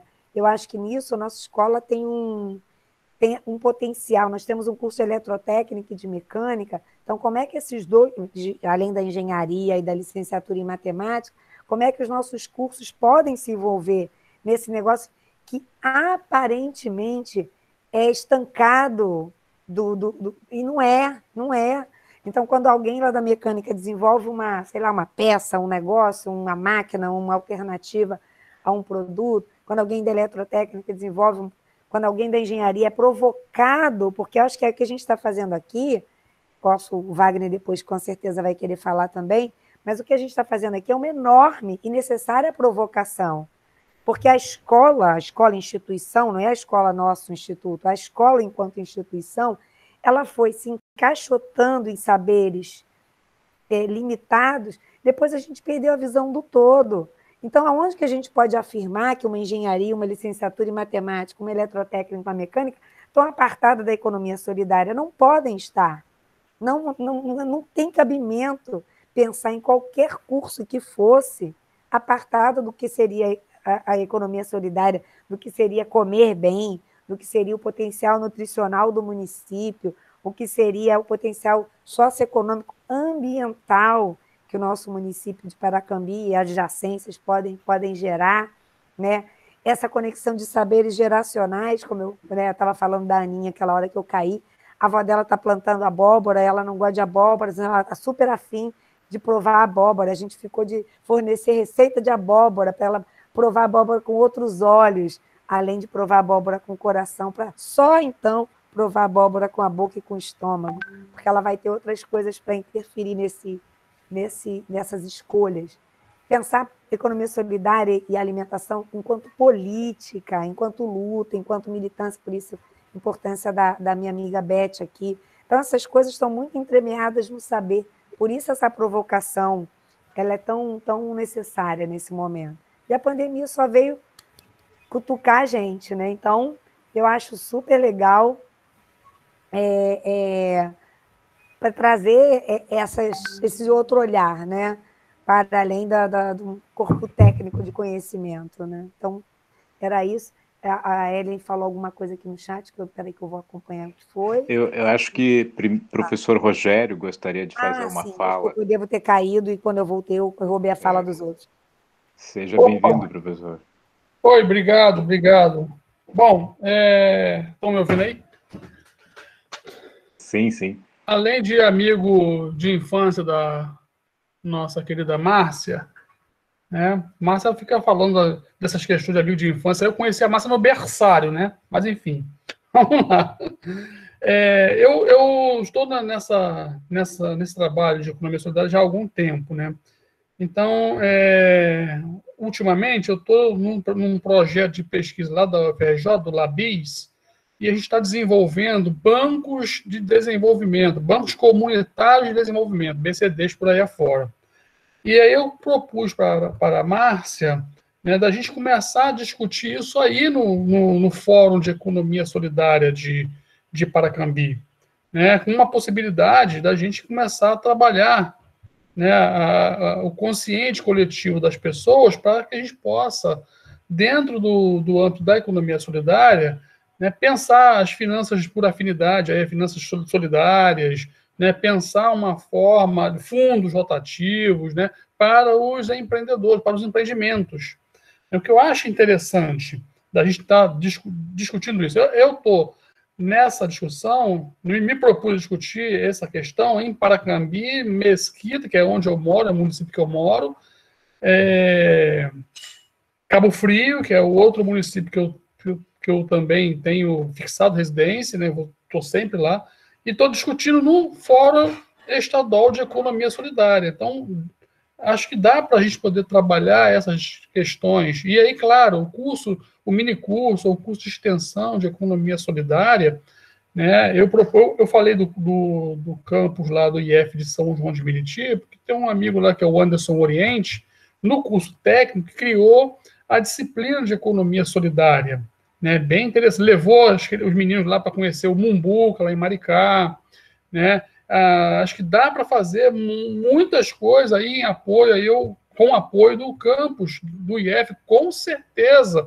Tenho certeza que os docentes de todas as áreas, aí, professora Joyce, sem dúvida, todas as áreas, elas interagem né, na interdisciplinaridade da, da questão que é a economia solidária. Todas as áreas.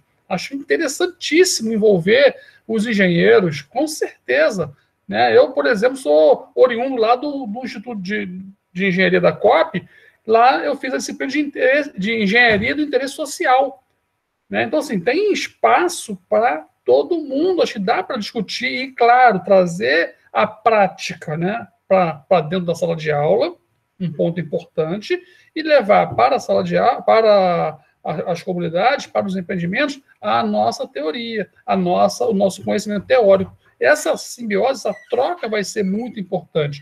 Eu, pedindo aí a permissão, posso ajudar todo mundo né, nesse, nessa discussão, fazer curso, promover junto com o IF, junto com vocês, participar dos cursos, criar o curso de Economia Solidária, incluir o termo, né, a discussão das finanças solidárias, do Banco Comunitário de Desenvolvimento, em toda essa discussão. Acho que dá para fazer muita coisa. O fórum daí de, de, de Paracabi está muito organizado. Eu estive aí um tempo fazendo, fiz uma palestra sobre cooperativismo.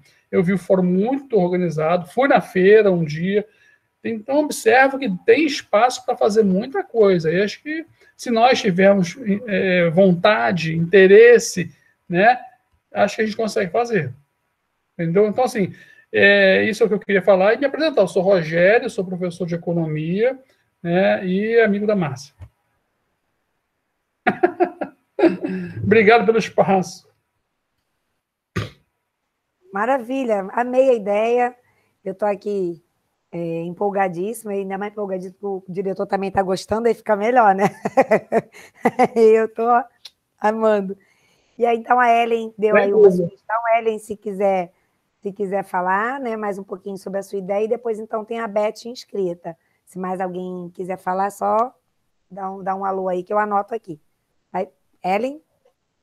Não, é, o Rogério deu um, uma contribuição fantástica. Realmente, o Labis na FRJ tem já muita coisa em desenvolvimento. É muito interessante o trabalho do Labis. Agora, a gente pode pensar é, que nós, como academia, eu vou falar de academia porque, na verdade, eu sou membro da incubadora tecnológica de empreendimentos solidários sustentáveis do Cefet, né, que foi criada desde 2014 e quer dizer a gente já tinha um desenvolvimento de um trabalho anterior, mas que não foi institucionalizado, então a gente se institucionalizou. E, e a gente vem é, fazendo toda essa articulação, porque a gente da academia precisa realmente estar articulado né, com quem faz economia solidária, que são os empreendimentos. né? E principalmente a gente poder fortalecer não só as estratégias de criação, né, de empreendimento de economia solidária, e aí abarcando todos os campos, o, o artesanato, a agricultura familiar, né, estratégias para os catadores de materiais recicláveis, é, dos, é, no caso aí para Cambia não teria pescadores artesanais, mas a gente teria também é, estratégias para isso, e o que o Rogério falou de é, finanças solidárias, é, no meu entendimento, isso ainda está muito ainda, é, digamos assim, a gente tem a experiência de Maricá, que é maravilhosa hoje, e Maricá, como experiência, tem mostrado né, para fora, não só no país, mas para fora do país, né, com toda a expertise que veio do Joaquim lá do Banco Palmas, é, mas a experiência de finanças solidárias de Maricá está sendo assim, um sucesso de desenvolvimento territorial, né? não só da questão do, do, da implementação da moeda social, do banco comunitário, mas de desenvolvimento local. E então eu acredito muito que é nosso papel das instituições de ensino, ainda mais nós, né, como instituições federais, né, de devolver para a sociedade todo o conhecimento que a gente obteve, obtém e desenvolve, né, é, é esse, de a gente né, criar dentro das nossas instituições as entidades de apoio e fomento à economia solidária, que é tido como um dos segmentos, que na economia solidária você tem os empreendimentos, você tem as entidades de apoio e fomento e você tem os gestores. Então, para você alinhar esses três segmentos, né? E na minha cabeça isso não pode acontecer de forma diferente. Se você consegue um alinhamento de propostas, uma convergência de ações e de planejamento desses três segmentos, quer dizer, a gestão pública municipal, nos que diz respeito ao marco legal, que a, a, a, a, Márcia falou muito bem, que Paracambi já está desenvolvido, Quer dizer, Paracadê já tem uma lei de apoio, já tem um conselho municipal, é, mas não basta ter no papel, né? A gente sabe disso. A gente precisa ter as estratégias de desenvolvimento, né? É, é e, e poder a gestão municipal trazer os benefícios para os empreendimentos da economia solidária. É, então, nós, como instituições é, da academia, precisamos estar realmente engajadas nesse processo para trabalhar isso no nosso território. Então, eu acho que vocês foram muito felizes de fazer essa reunião.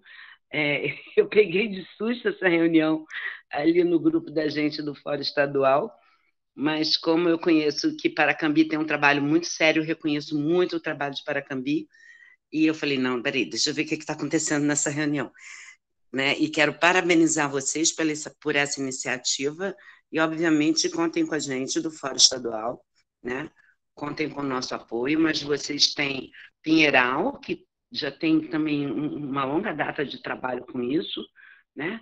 Tem Volta Redonda aí perto também, com a Begão, que também faz um trabalho maravilhoso, né? E às vezes a aproximação territorial facilita muito as, as nossas movimentações, apesar de que a gente está aprendendo a não precisar de se movimentar, né? A gente se, se comunica é, é, é, através do modo virtual e as coisas estão até funcionando nesse sentido. Mas eu quero parabenizar e, de qualquer maneira, deixar, né? A, eu estou à disposição de vocês.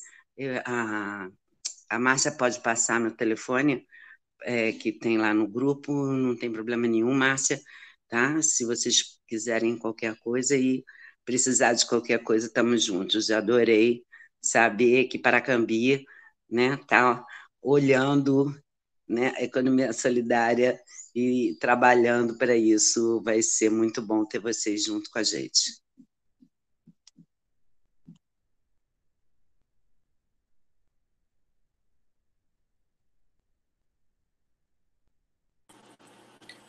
Oi, sou eu, né? Ótimo, Ellen. Obrigada, obrigada pela contribuição e com certeza a gente tem um bom caminho pela frente. É, Beth, quer, quer, falar rapidinho aí? Cadê você? Tá aí? Tá, né? Tô, e tô. Depois, então, vem a, depois vem a Márcia. Tá. Pessoal, vou desligar minha câmera, gente. Vocês desculpem porque minha internet fica oscilando. Às vezes, com, sem a imagem ficar melhor. Bom, eu queria agradecer é, o convite, foi assim de bate-pronto também, como já disseram aí, mas eu gostei muito, que é um assunto que me interessa, né? Como ela já falou, nós somos a infância, de barriga, né? Da barriga das nossas mães eu me formei em nutrição. Hoje eu faço parte do CONSEA, que é o Conselho de Segurança Alimentar, né, do Estado do Rio de Janeiro. Sou representante pelo movimento negro, o negro. E eu estava é, bem no início ainda da reunião, né, é, super é, atenta, e aí me chegou pelo grupo, pelo grupo do WhatsApp do CONSEA uma nota técnica que foi agora apresentada pelo Ministério da Agricultura, Pecuária e Abastecimento, que eles estão questionando o nosso guia alimentar, nosso guia é, da população brasileira. E aí, assim, vocês não têm noção de como que isso já mexeu com toda a estrutura, né, e o quanto eu já estou borbulhando de né, indignação do que aconteceu. E uma das, uma das principais, é, um dos principais questionamentos né, dele, principal tal, tem, é, tem muito a ver com o que a gente está falando aqui, que é justamente eles questionam porque o, o guia alimentar ele ele divide, né, os alimentos, assim, as categorias dos alimentos em quatro, assim, né, como os alimentos in natura, minimamente processados, processados e os ultra processados.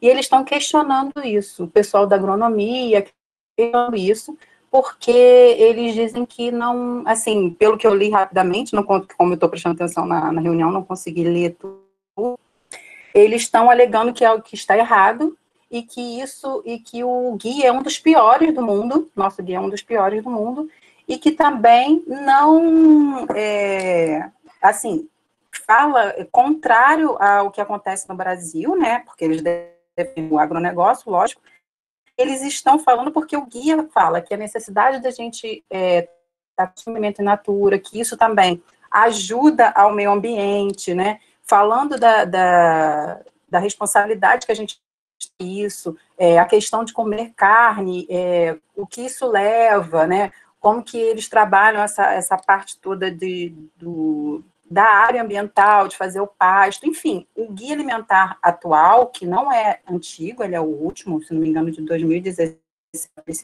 se ela pode me, me corrigir, eu acho que é 2016, ele está soltado para toda essa parte de conscientização mesmo, do que a gente precisa, do que essa, essa rede solidária, ou é, é, por que a gente tem que consumir os alimentos in natura, que nós temos as vitaminas, temos tudo ali que é uma coisa é, popular, seria uma coisa popular, não é, não precisa ser uma alimentação cara, uma alimentação acessível, mostra toda essa, essa parte que, é, que está ao nosso mas que às vezes o a gente não tem o acesso. Então, por exemplo, quando a fala é, da massa, né, quando a questão de de estar tá na feira, tendo ela sozinha, ou 10 ou 20, cara, é uma resistência. Porque, assim, é difícil acesso, é difícil, assim, ter um lugar, é difícil as pessoas é, terem conscientização de que o trabalho dela está ali voltado para isso. Então, assim, ter o espaço, ter o acesso. É, eu sou moradora aqui da Maré, né? E, e uma das coisas que eu mais falo aqui, eu falo tanto sobre alimentação, sobre o que a gente tem que, que valorizar, mas eu sei que é difícil aqui. Onde elas vão arrumar esses alimentos? O que chega até elas é o da feira normal, que é o que está é, cheio de agrotóxicos, que é o, o, o, que sai mais barato, porque tá, tem toda a indústria por trás, né? E, e, isso me, me, assim, me deixa muito angustiada. Se não, a gente não for nesse pensamento da Márcia, a Patrícia colocou, 2014, é, se não for nesse pensamento Márcia, né, e dos demais, da gente realmente ter essa união, fazer com que isso aconteça, é muito é, é, certo que foi falado aí que é uma coisa de, de, interdisciplinar, né, todo mundo, isso alcança todo, todo mundo. Se os, os jovens, né, os adolescentes, conseguirem enxergar dessa forma, vai facilitar muito, porque é muito difícil a gente hoje mostrar para as pessoas que elas acreditam muito na mídia, né, e levam tudo para o lado mais prático, tipo, ah, não, mas aí eu vou ter que fazer. Ah, mas por que você não tenta plantar às vezes? Por que você não tenta fazer isso? Por que você não tenta fazer uma, uma receita assim, assim, muito mais prática? Ah, não, mas é muito mais fácil dar para o filho um pacotinho de biscoito fofura que vende na porta da escola de uma fruta, entendeu? Então, assim, a gente fica muito, é, muito assim, é, indignado, né? Eu tô, desculpa, eu tô bem nervosa com isso tudo que aconteceu agora, mas, assim, eu acho muito legal, a gente tem que falar sobre isso o tempo todo nas escolas, uma coisa que aconteceu, um, monte que teve também, saúde, eu falo muito aqui pelo município do Rio de Janeiro, né, não sei como... É, acredito que sim, a gente tinha muito essa coisa da segurança alimentar das escolas, educação nutricional, e isso foi se acabando. Então, assim, é, fica tudo é, ligado ao que vem a eles pela internet. Né? Então, se um aluno, como a Joyce tem os alunos aí, vocês têm os alunos que se interessem por isso, isso fica perdido. Ninguém nem se aprofunda no assunto. Então, assim, eu acho legal. Eu acho que é só o começo de toda uma discussão que ter aí sobre isso. É, o campo é muito amplo para a gente poder falar de segurança alimentar. É, são desde essa do, do, consumo mesmo até toda a política que está tá por trás disso, né? A gente tem questionamentos aqui no Rio de Janeiro que a gente não tem é, a segurança alimentar que vocês têm em relação ao PENAI, em relação a, a a merenda escolar, a gente não consegue nem sobre isso aqui ainda. E é isso, a gente tem que fortalecer bem a rede solidarismo e sempre fazer essa provocação, como a Joyce falou, porque o acesso já nos é assim, precário. Então, a gente tem que abrir portas, né? E, e quanto mais pessoas, melhor. Eu acho que é isso. Obrigada.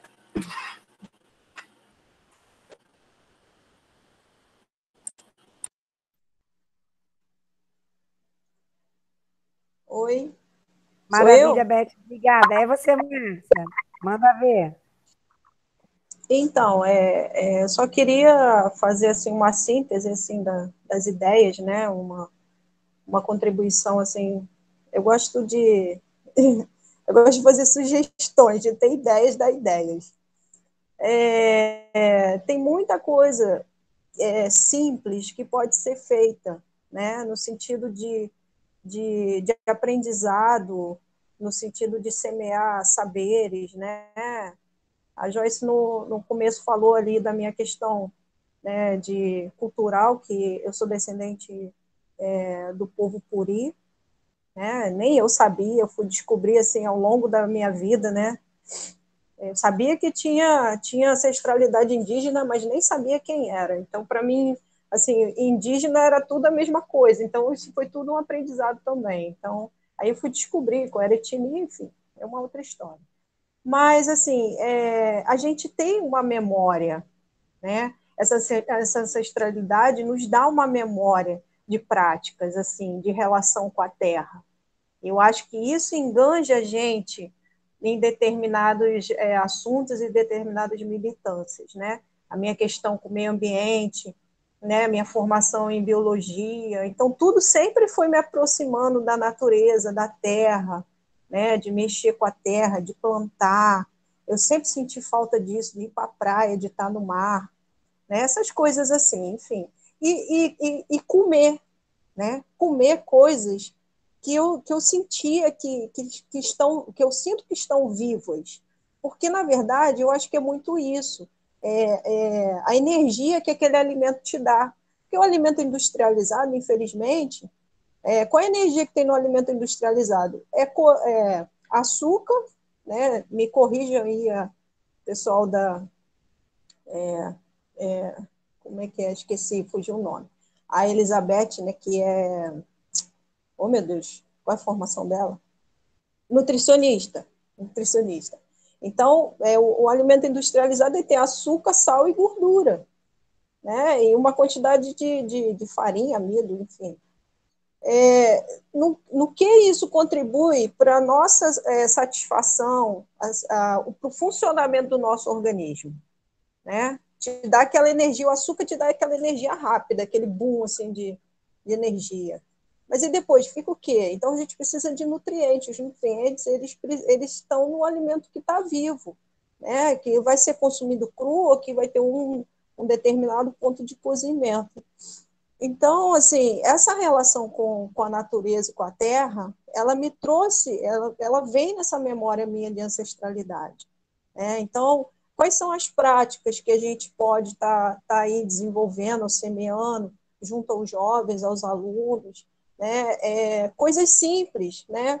É, hortas, hortas é, na varanda, né? Hortas, os conceitos de hortas urbanas, né? Se você for ampliar para uma questão política, a ocupação do território com hortas urbanas, áreas que, vi, que eram tomadas por lixo, por entulho, áreas públicas, né, que podem ser transformadas em, em, em, em hortas. Isso está acontecendo muito em São Paulo, né? O pessoal está ocupando, já tem um movimento de ocupação aí para hortas urbanas. É, tem um amigo também na Zona Oeste que está trabalhando isso muito dentro das escolas, né? Os conceitos da agroecologia, né? Como como trazer isso para as pessoas comuns e como trazer isso para a cidade, tirar isso do campo e trazer para a cidade.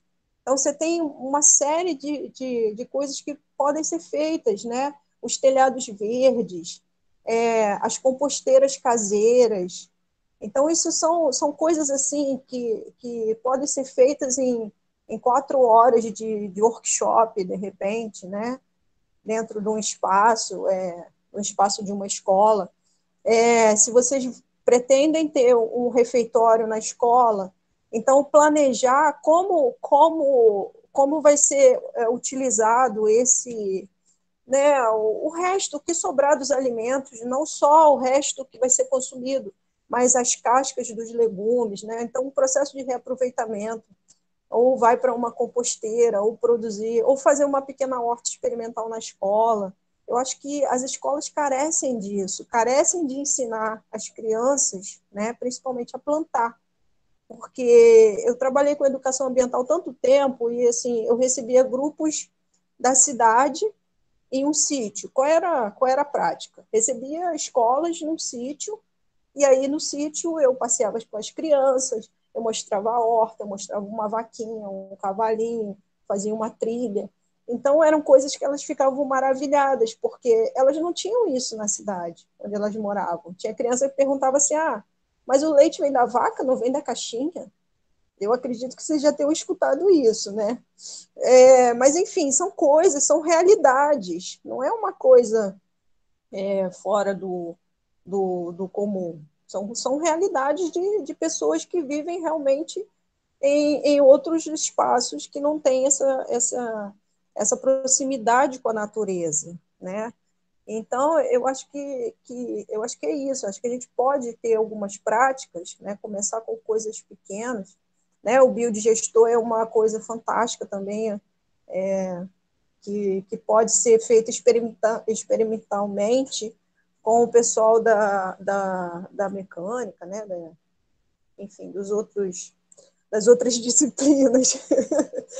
E, e, o que acontece? Eu queria falar também da diferença que a, a gente até comentou antes, né, Joyce, sobre a diferença entre o orgânico e o agroecológico, né, que a gente não tem em Paracambi ainda produto é, orgânico certificado. Por quê? Porque existe uma diferença. O orgânico ele precisa ter uma certificação de, de uma entidade certificadora. Então, tem, vou dar o um exemplo da Bio, né, que é uma das certificadoras. Então, tem todo o processo que o produtor tem que passar para receber essa certificação, ou seja, não pode ter nenhum veneno, os insumos têm que ser, têm que ser orgânicos, é, se ele está produzindo, vou dar um exemplo, é, galinha, né? Como é que aquela, como é que aquela produção vai ser orgânica? Então, até o milho que a galinha vai comer não pode ter, tem que ter uma procedência todo todo o insumo tem que ser rastreado. E aí a certificadora vem e diz que realmente ele está dentro dos padrões e dá o certificado de orgânico. Então, Paracambi ainda não tem. Paracambi tem uma produção agroecológica muito forte, né? Então, é, tem gente que produz palmito agroecológico, né, palmito de pupunha, palmito de açaí. Então, tem várias comunidades rurais aqui do município que elas têm uma produção agroecológica muito forte. Paracambi praticamente é, não utiliza veneno, né, é, defensivos agrícolas no, no, na sua produção, mas ainda não pode ser considerado orgânico. A nossa banana é excelente, ela não tem processo, é, processo é, químico na sua maturação. Então, assim, a gente só não tem quem afirme isso, né? Não tem uma certificação. Mas, assim, o, o produtor, ele pode dizer isso, né? Falar, não, meu produto, eu não uso veneno. Você quer ir lá no meu sítio visitar? Eu visitei várias propriedades. Então, realmente, você tem essa condição de conhecer essa produção. Você não, só não tem a certificação ainda. Mas eu acho que aí a economia solidária ela entra para fortalecer é, e, e, e aí ajudar para que ele alcance essa certificação, né? Porque a economia solidária ela mobiliza. Então precisa muito dessa mobilização. Era isso.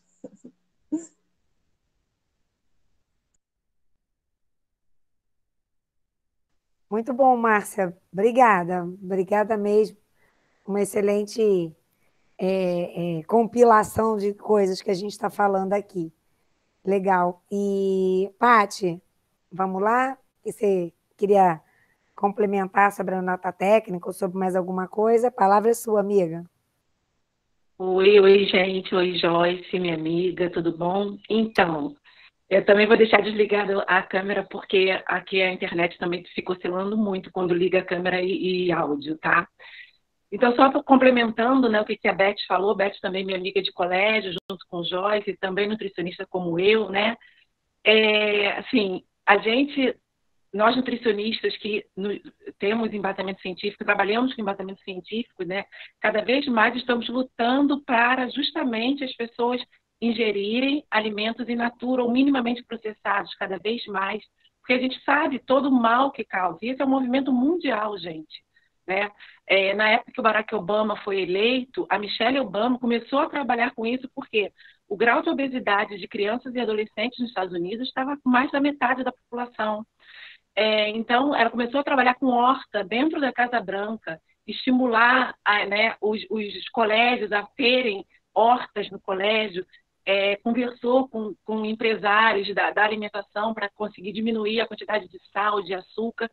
E agora a gente vem, né? A, a Elizabeth que me mandou essa nota técnica, também fiquei atordoada, fiquei indignada, vem no, to, no total contraponto né, do movimento mundial o, o governo dizer que é, quando o alimento ultraprocessado não tem nada que comprove que ele faz mal à saúde. Né?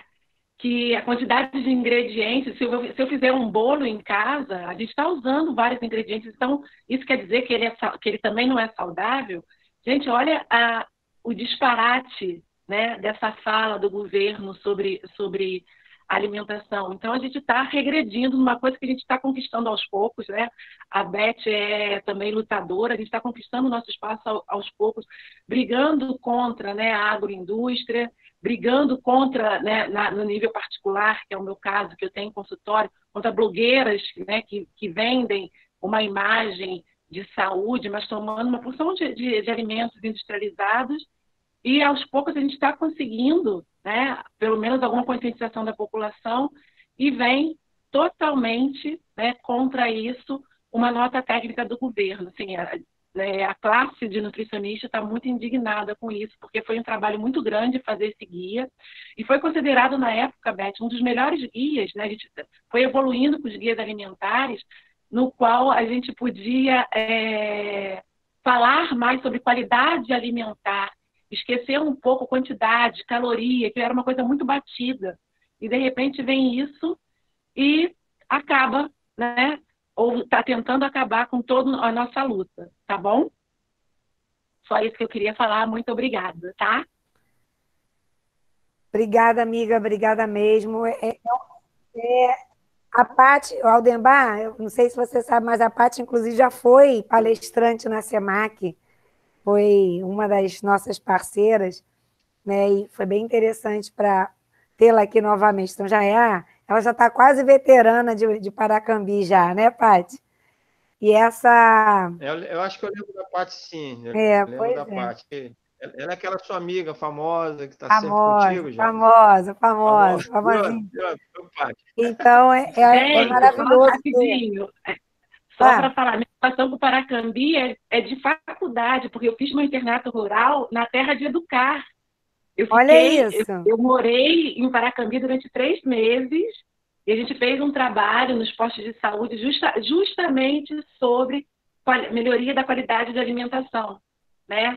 Tanto das- do- dos alunos da Terra de Educar, na época, há 1.500 anos atrás, gente, é, tinha um projeto porquinho, que as famílias recebiam, cada família de aluno recebia um porquinho para criar, né? E aí faziam o que, que eles queriam com o porco, vendia, comia, subsistência, né? Então a gente é, começou a trabalhar em Paracambi há 300 mil anos atrás com a melhoria da qualidade de alimentação das crianças. Só isso, tá? Olha, ela falou 3 mil anos atrás, mas não sou velha igual ela, não, hein?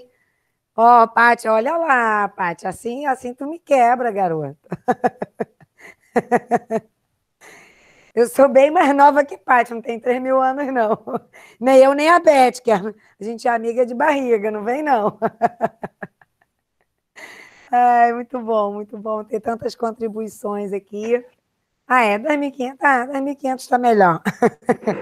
Tipo o Raul Seixas, eu nasci há 10 mil anos atrás.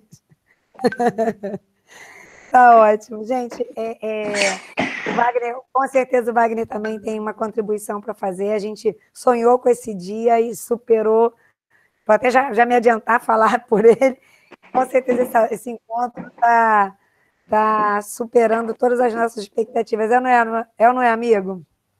É, então, estou muito feliz com todas essas contribuições, todas essas considerações e, e com a participação de, de, né, das, das entidades, das pessoas que representam entidades, enfim. Acho que é uma conversa muito importante e provavelmente a gente vai ter que sentar outras vezes para conversar, enfim, para estabelecer as parcerias, né? Enfim, bastante feliz mesmo. Uh, eu, a gente já está chegando, acho que no fim né, da nossa conversa, já estamos aí há duas horas, né? uma conversa bastante produtiva, e aí a minha questão assim, para o grupo é, é, como que nós encaminhamos as coisas agora, né? para a próxima, semana ou para as próximas semanas, né? se a gente vai tirar alguma, algumas propostas para conversar mais detidamente daqui para frente? Como é que a gente vai fazer?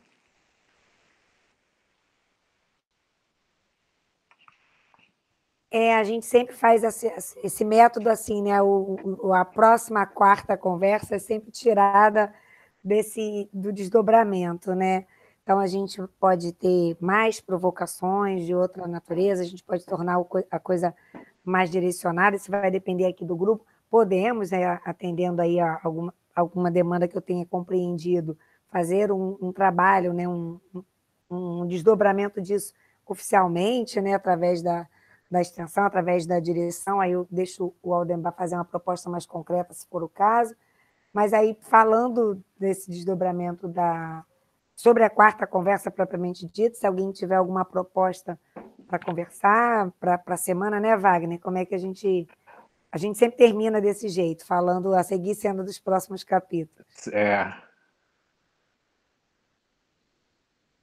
Ou se quiserem reunir para seguir, para pensar algumas coisas ainda nessa linha, é possível também, não precisamos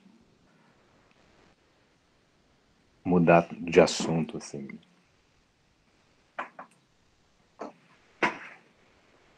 Aldembar, Aldembar quer falar alguma coisa? Sim, sim, sim. Eu acho que é interessante nós começarmos a concretizar isso, né? A gente começar a realizar, né? E a Coex vai ser um braço bastante, bastante interessante nesse sentido, né? Sugeriria ao grupo, né?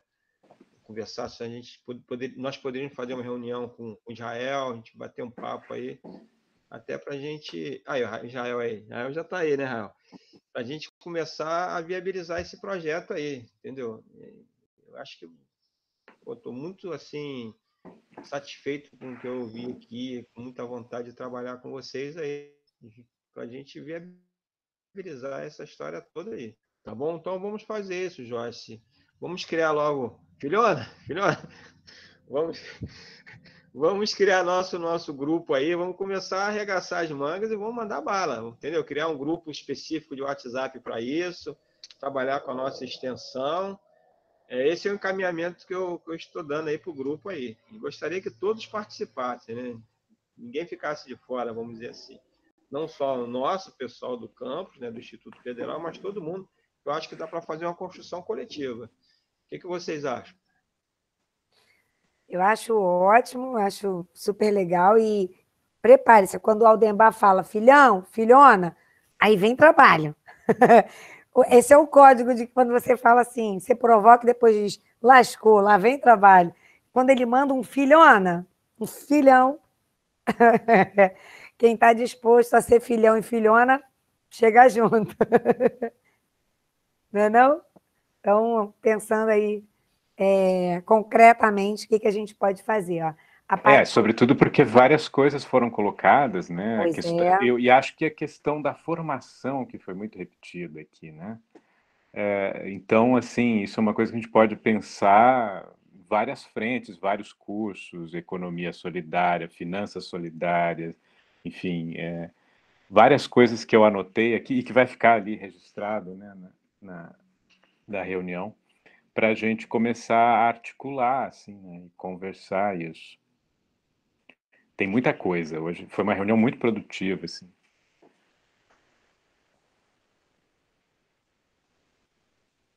Concordo, Wagner. A gente já pode sair daqui com uma proposta aí já nesse sentido, né? É, desculpe a minha pressa, né? Mas é o meu jeito de trabalhar mesmo, tá, gente? Eu não, não perco a oportunidade, né, Jorge?